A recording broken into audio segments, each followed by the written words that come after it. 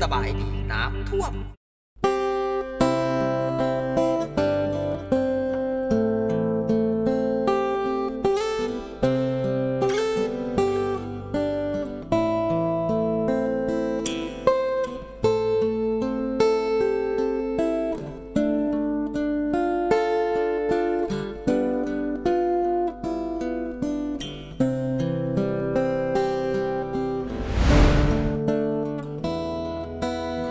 ระทำสำนึกดีนะคะ 11 พฤศจิกายน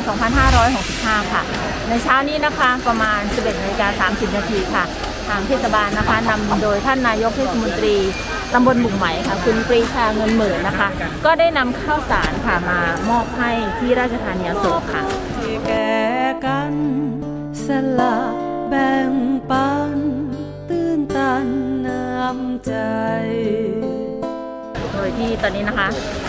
รถจากทางเทศบาลค่ะ ก็ได้บรรทุกข้าวสารนะคะจำนวนหนึ่งค่ะ มาที่ราชธานีโศกเดี๋ยวจะไปคุยกับท่านนายกเทศมนตรีกันค่ะ ดังน้ำลือ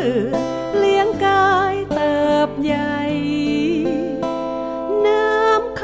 ำหวานฉ่ำ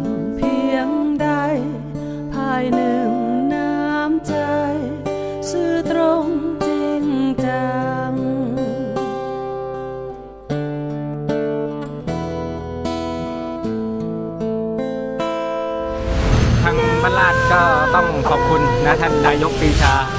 นะพอดี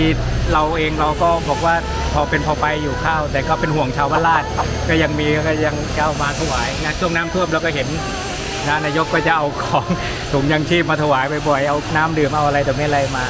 นะเมื่อวานนี้ทางนายกเองก็เข้ามาช่วยแก้ปัญหาเรื่อง box culvert นะก็ถือว่าเป็นการอนุเคราะห์เกื้อหนุนเกื้อกูลกันระหว่างบ้านลาด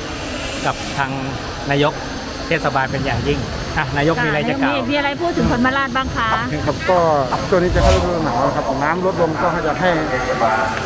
เพื่อให้ชาวมาลาดรักษาสุขภาพด้วยครับช่วงนี้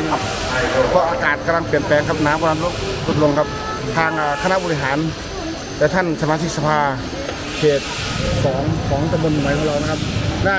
มีจิตศรัทธาเรื่องเกี่ยวข้าว ซึ่งผมมาจากมูลนิธิซึ่งเอ่อชาวบ้านก็แจกให้ชาวบ้านที่น้ำท่วมทุกหลังคา